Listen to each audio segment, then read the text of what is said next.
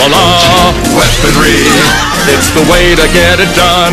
Weaponry, it's effective and it's fun. If you want to make them fall on bended knee at your command, bow their heads and swear that you're the leader of the land. State your wishes in a language they all understand. With weaponry, that's the plan.